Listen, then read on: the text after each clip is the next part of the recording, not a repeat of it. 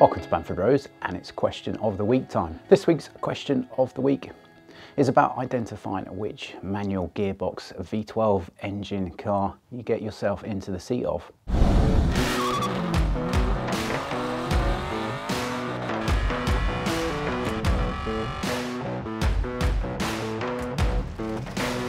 Before those pesky draconian environmentalist issues consign the petrol engine to the history books and in terms of large capacity naturally aspirated engines fitted with a manual gearbox then they are pretty much a thing of the past already. But you've got your 50 odd K and you're choosing which one to get yourself into the seat of. So let's just define the market and in terms of the Aston range, at the top end we've got this V12 Vantage S manual, seven speed manual, trading for upwards of 120k. Now that's a manual with the seven speed gearbox and I'm not entirely sold myself on the seven speed gearbox. I think gate selection is a bit fussy, uh, meaning that compared to the six speed, arguably the six speed offers the better driving experience. The starting price for a six speed V12 Vantage manual, certainly these days ranges from mid 70s upwards.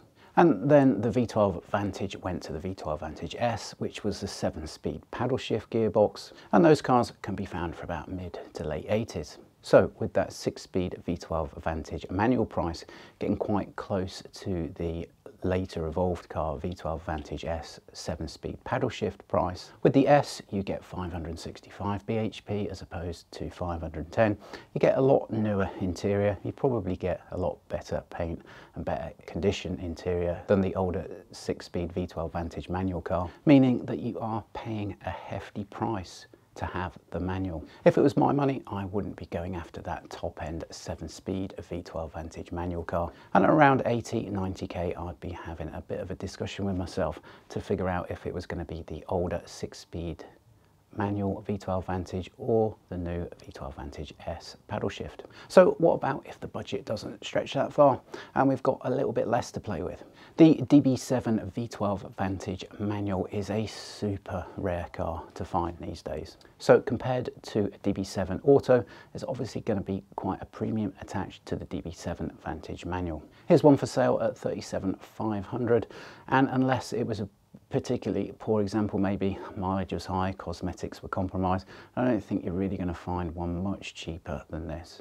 At the high end of the db7 market we've got the db7 gt and here's an example of a manual db7 gt trading for about 53 we then go to the DB9 manual, which came in about 0506. Again, these are super rare cars to find. And I don't think starting prices are going to be any lower than 40k at the moment. Here's a nice one for sale at 45. Now Aston did make the 470 bhp DB9 in manual form for a short while, but those are super rare cars to find. Now you can find those spec'd with Bang & Olufsen and you've got the glass key and the evolved interior. If you can find one for sale, they're gonna be certainly no lower than 50. It's probably mid 50s, late 50s is the price for those. But keeping a lid on those prices is gonna be the entry level price for a DB9.2. DB9.2s seem to be starting for about 65k at the moment. With a very simple engine remap, you get that 500 110 bhp motor up to 565. The DB9.2 has got electronic adaptive suspension, carbon ceramic brakes, and still retaining classic and understated looks. If you were looking for a DB9 manual at the top end of the range and the price was knocking on the door of 60k, you really do need to ask yourself the question, would you be happier in 65k's worth of DB9.2? Okay, you haven't got a manual stick shift, but there's a lot of other comforts to be had for that extra few K and arguably it's going to be easier to live with in terms of maintenance and amount of visits to a workshop. But I guess if you're still watching at this point, it is because you want the stick shift and even though the price is knocking on the door, certainly at the high end of a DB9.2, then you're still going to choose that 470 bhp DB9 manual compared to your 510 bhp DB9.2 auto. The same overlap exists with DB7. DB7 manual can sometimes be the default choice because I have a conversation with a prospective owner and getting in the seat of a DB9 isn't realistic, the budget won't stretch that far. Now there are some cheap DB7s out there, but DB7 is vastly growing into a car that's tricky to maintain in the workshop. As they get older, they just need more time lavishing on them and parts availability and time spent working on the car means that repair prices are arguably higher keeping a DB7 on the road than it would be if, if, you were doing the same amount of miles on a DB9. To choose the DB7 over the DB9 is really all about the style of car that you're after. There's a certain charm to the older, more classic looking DB7. And for some people that ticks boxes so strongly that it doesn't matter if the price overlaps into DB9 territory, which is fair enough. I can understand why that happens. The only point of caution I would say is really do think twice about an inline six manual. And then when you've thought about it once, think about it again. The other consideration is the high price of the 450 bhp DB9s, what they're commanding in the marketplace. It's quite easy to see those knocking on the door of 50k and maybe a little bit over,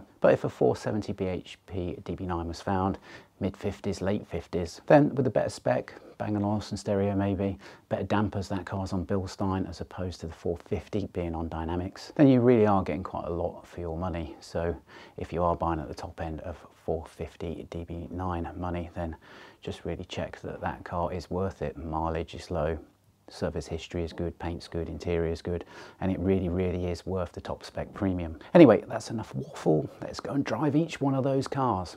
Now, it's always worth going on YouTube and having a look at old videos such as Top Gear and stuff like that and looking about the reviews when these cars came out new. Most reviews today done by certain YouTubers are people that couldn't drive a greasy glove up a cow's bottom. And most reviews concentrate too much on just how quickly you can bludgeon the car around a corner. If you want to do that sort of antic in a DB7, then a DB7 isn't really the car for you. It's more of a GT cruiser, and with the manual gearbox attached to the V12 engine, you just get to exercise the V12 engine in a bit of a different way than what you would have done if it was an automatic gearbox driving the car. Most things on DB7 are a little bit quirky, a little bit awkward. The seating position is really tough for me to get right, to get the distance on the arms right to get the legs in the right place. And I think you've got to be quite lucky to really gel with the seating position of a DB7 with the adjustments that the seat and the steering wheel give you. Access to stuff like the handbrake, seat position, adjusters, nothing is ergonomic and comes natural. On one hand, that just adds to the quaintness of a DB7.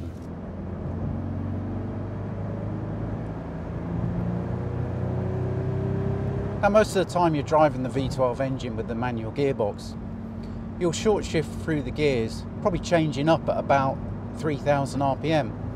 Between 1500 RPM and 3000 RPM, the pull this V12 motor's got is phenomenal. And if you really feel like going for it and you start revving it above 3000 RPM, then even if you start revving it to 4, 4,500 RPM, you sort of feel like changing up anyway.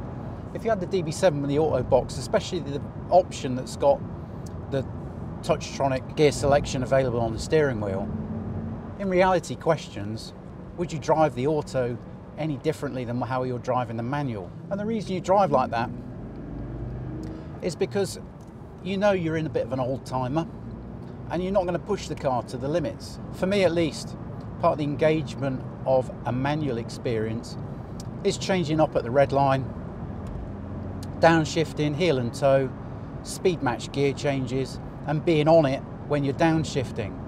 If you're just not driving a DB7 in that way and you're short shifting through the gearbox, you can achieve exactly the same with an auto and get the same driving experience out of it. As fantastic a car as this is, you really are paying a premium for that manual gearbox. And as we said earlier, if that premium encroaches into DB9 territory, you really have to question, is a DB7 right for you? I do spend the bulk of my time driving new era cars, and it's just so obvious when you get in DB7 that it is really driving like a car from last century. There's always a drive line imbalance, whether that's on the prop or the drive shafts. The diffs always make a little bit of a grumbling sound, and it brakes, steers, and handles like an old car. DB7 has only got ABS and traction control, and that is if you give it too much gas traction control is going to stop the rear wheels from spinning. What you get in the DB9, as well as ABS and traction control, is dynamic stability control. And that's where the car realizes that the arc you're taking isn't what is requested in the steering wheel position, and it's going to grab brake to take you on the arc, whatever you've set on the steering wheel. Now, I'm not about to attempt it in this DB7, but that is important because if you do start to push DB7, you will put this car out of its register, out of the window in which it likes to operate in, and it's very easy to get a bit of understeer, a bit of oversteer. Combine that with a feeling that you're hustling an old timer car, means that if you do push a DB7, the driving experience you're getting from it in return isn't that great.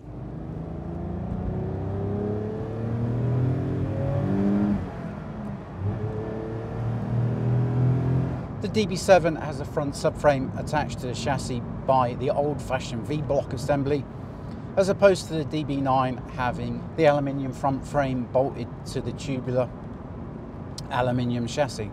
The DB9 has double wishbone, and especially in the case of the 470 bhp DB9, fantastic Bilstein dampers.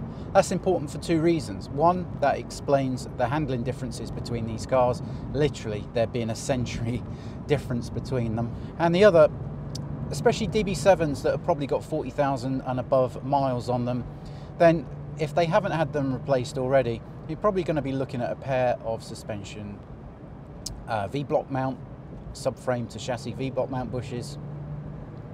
To have to go through the suspension arms with new bushes.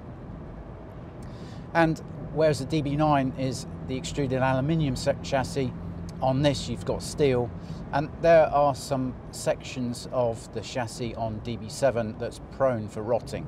Apart from the tubular rear subframe on a DB9, corrosion like that just isn't something you have to worry about due to the extent of how much that car is made out of aluminium. The corrosion, the repair bills, the extra time that the car takes to work on them because they're aging and stuff doesn't come apart easily. The yesteryear driving dynamics, all that added up, you really do have to question if DB7 is right for you.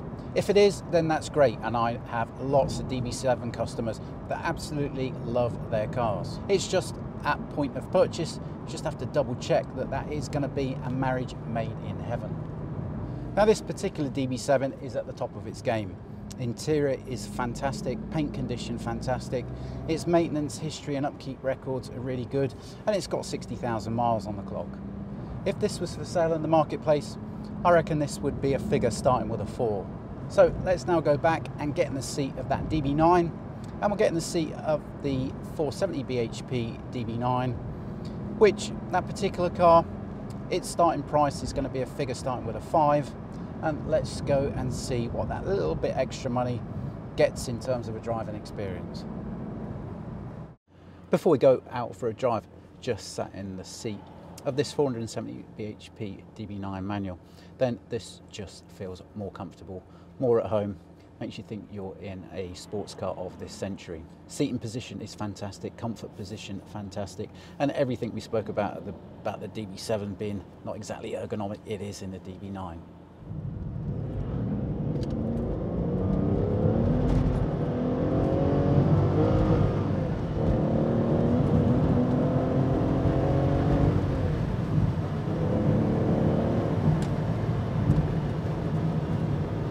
Now after that short acceleration there, this DB9 doesn't give you the same feeling to kick in that naturally instinctive bit of mechanical sympathy that you have when driving a DB7, which is really the main factor limiting you to uh, revving it to the red line. It's a sports car of this century and it doesn't complain if you put it to use. For me, a DB7 only works out if there's a huge price differential between that and the DB9 manual. If a DB7 at the top of its game, like that 53k DB7 GT, is to choose from, or it's the DB9 such as this one, there'd have to be some really strong compelling reasons why you'd choose that DB7.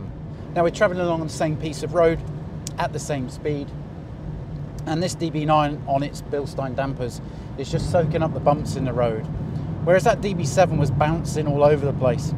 The feel from the brake pedal returns the feeling of a brake assembly that can actually brake the car down from speed, as opposed to the DB7 where it all felt a bit under braked and you were overheating the brakes. And because of its double wishbone suspension, and because the front subframe isn't attached to the chassis with V-block bushes, the ride and handling in this car is just so much more composed over the DB7 at the same time as being more sporty and agile. If you had to daily the car, then the DB9 would be totally at home being used as a daily. It's not really practical to daily use a DB7 this sort of critical assessment is necessary because a few years ago, DB7 had depreciated and plateaued at the bottom of resale values, and now DB7 is massively appreciating. It's a classic.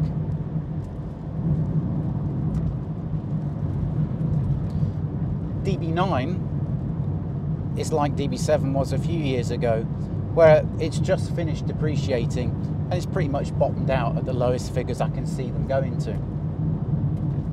The nostalgia of a DB7 and prices that are appreciating. If we are saying the DB7 is a bit of a GT cruiser, then if I was going to set sail in a DB7 and go off to the south of France or Spain, you'd really needed to have maintained that DB7 in a garage before that trip to stand any chance of thinking you're going to make it without needing a tow truck. So if that GT Tour is going to be your use of the DB7 manual, and you compare it with the DB9 manual, which is arguably more comfortable to make the journey in, and is arguably less likely to need a tow truck compared to the DB7. Don't get me wrong, we're certainly not beaten up on the DB7. It's just that you need to think about all these points before making a purchase.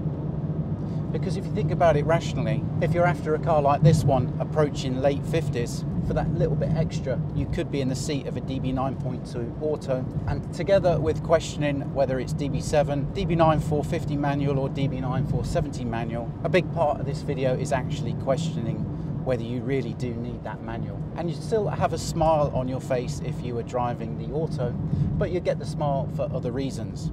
You'll be in a lot newer and higher spec DB9 and altogether as a complete package that could turn a more rewarding experience than the slightly older, less specified manual versions. But just like many of these considerations, there's no right or wrong answer. There's no one size fits all. If you've made the transition from DB7 manual to DB9 manual, then we'd really like to hear your feedback. Hope you enjoyed that question of the week. As always, really helps us if you can subscribe to our channel. If you like what we do, click us a like Give us your comments and feedback. And we'll see you on the next question of the week.